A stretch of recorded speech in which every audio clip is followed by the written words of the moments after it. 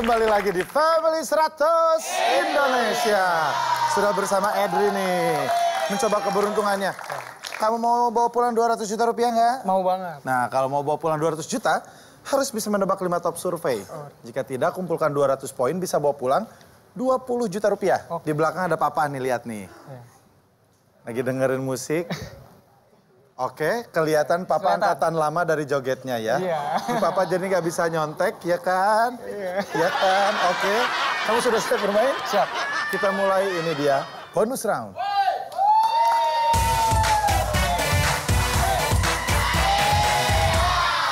Baik, saya akan membacakan lima pertanyaan. Jika tidak bisa menjawab, silakan bilang pas. Jika masih ada waktu, saya akan mengulang kembali.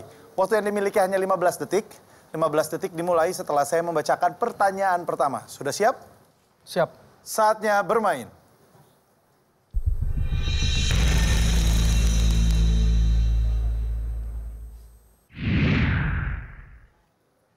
Kenapa orang ingin menikah dengan warga negara asing? Pas. Bau apa yang bisa membuat pusing setelah menciumnya? Bau kentut. Sebutkan macam-macam peyek. Peyek udang. Pedagang apa yang berjualan menggunakan sepeda? Somai. Selain Sidul, sebutkan nama tokoh di sinetron Sidul anak sekolahan. Mandra. Mengapa orang ingin menikah dengan warga negara asing?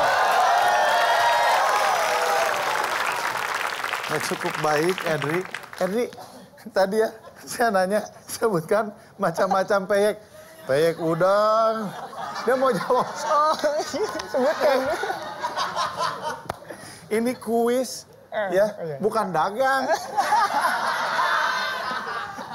Sebutkan macam-macam peyek. Ada udang, Oh, iya. cang, setoge. Sebutin semuanya. Sayang sekali tadi. Kenapa orang ingin menikah dengan warga negara asing? Biar apa biasanya? Biar anaknya ganteng.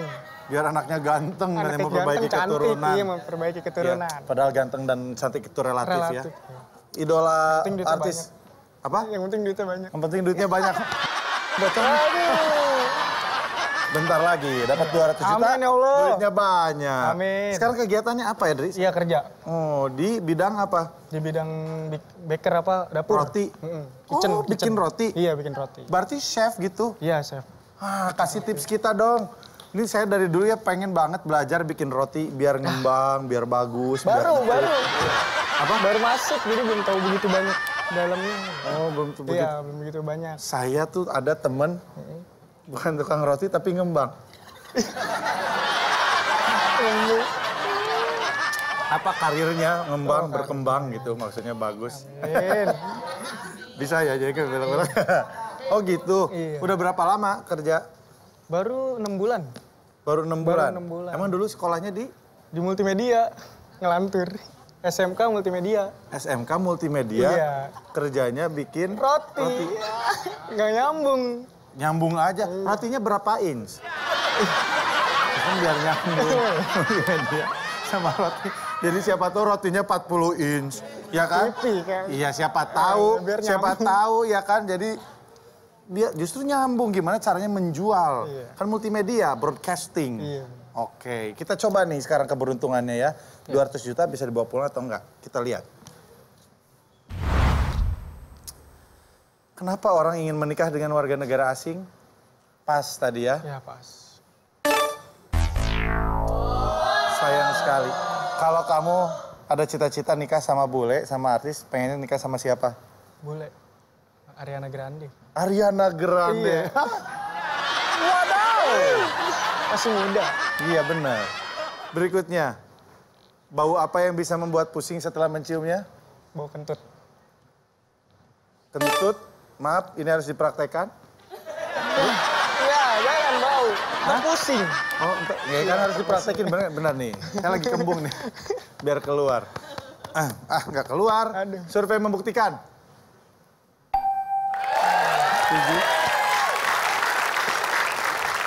Biasanya kalau kentut, apalagi kentut temen ya, bukan menyebabkan pusing, tapi menyebabkan berantem.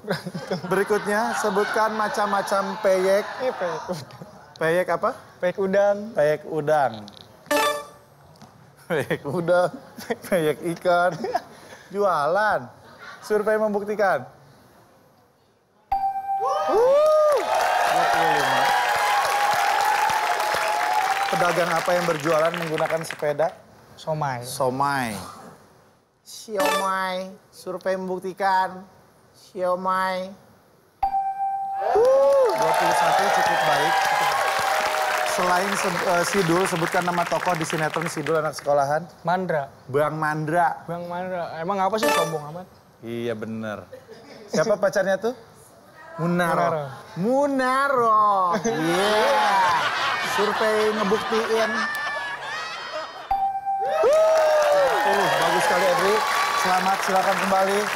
Langsung kita undang pemain berikutnya Papa Arif.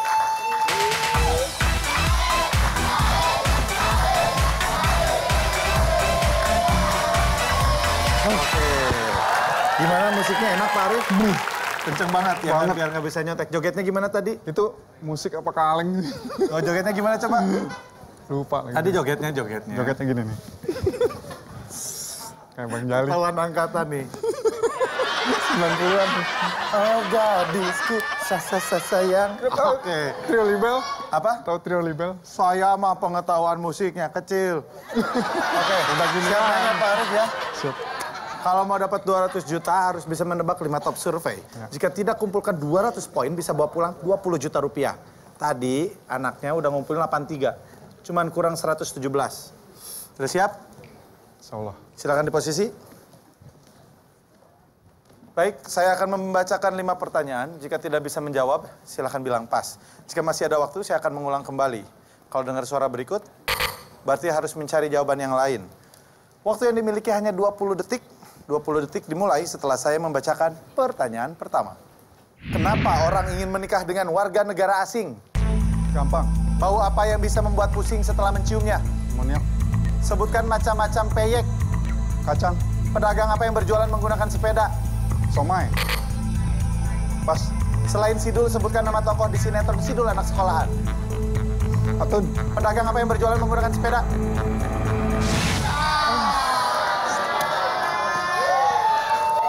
Pak Ari, sayang sekali. Tadi bau apa yang bisa membuat pusing setelah menciumnya? Amoniak. Amoniak. Iya sih, Mau pusing, berat, mau berat, pusing. berat.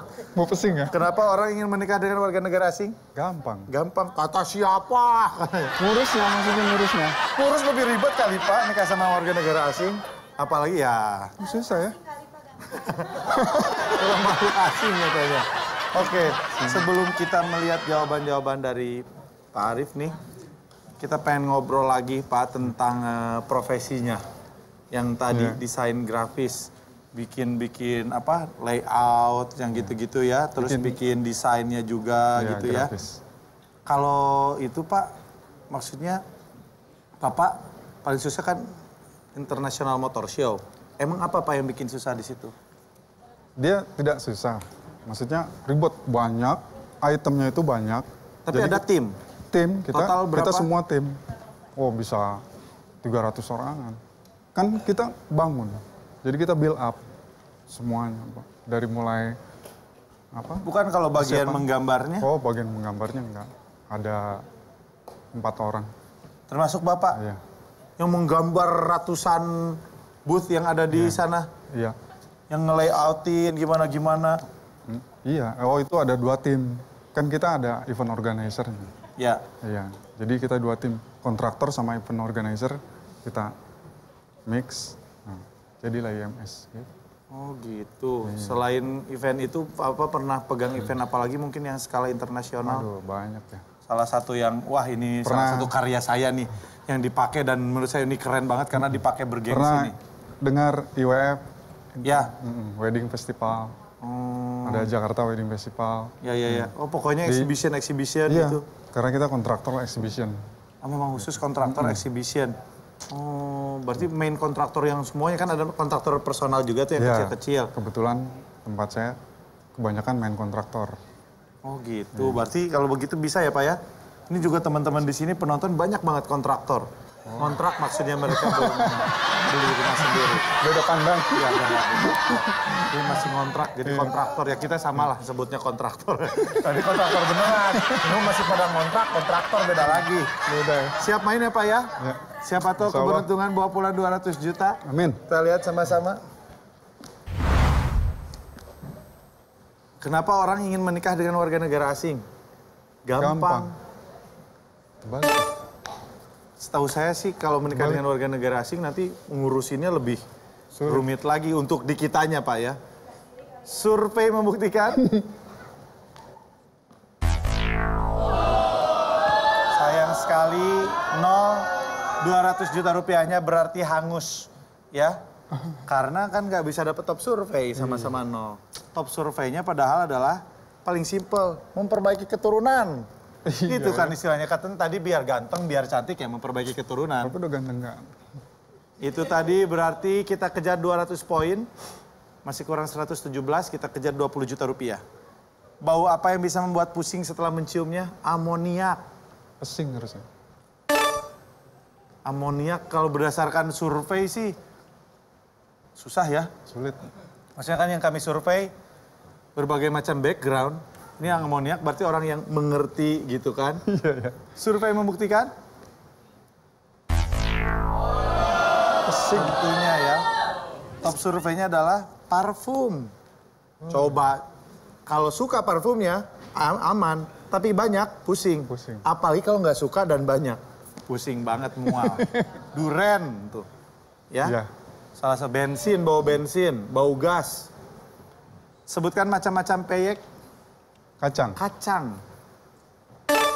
Survei membuktikan tentunya kacang. Sama. 32 poin, top surveinya adalah kacang. Dan memang di Indonesia, khas orang Indonesia, Kayak kacang. suka yang crunchy dan kacang. Apa pun yang crunchy, kerupuk, apa pun dan kacang. Apalagi ini peyek kacang. Udah crunchy, ada kacang. Berikutnya, kurang 85 poin yang harus dikejar. Pedagang apa yang berjualan menggunakan sepeda? Iya. Pas tadi ya.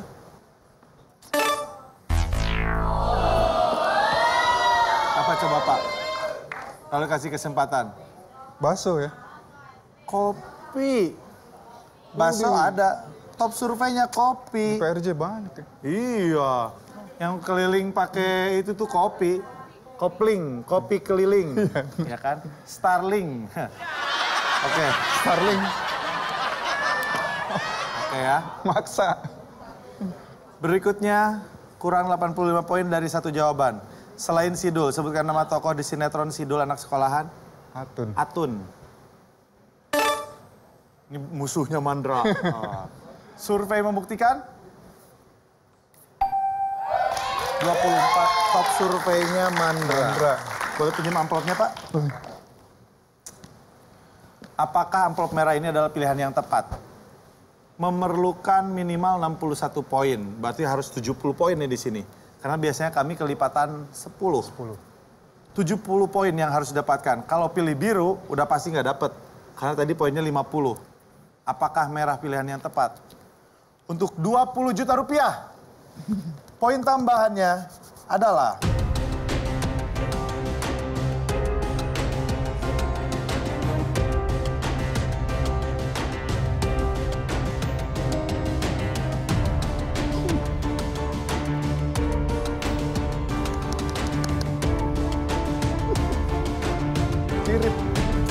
Untuk 20 juta rupiah poin tambahannya adalah masih jauh. 30 poin sayang sekali boleh bergabung semuanya. Tidak apa-apa keluarga Bapak Arif berhak membawa pulang 4 juta 160 ribu ditambah 500 ribu ditambah 2 juta rupiah. Totalnya adalah 6 juta 660 ribu rupiah. Selamat Pak Arif dan juga keluarga. Selamat.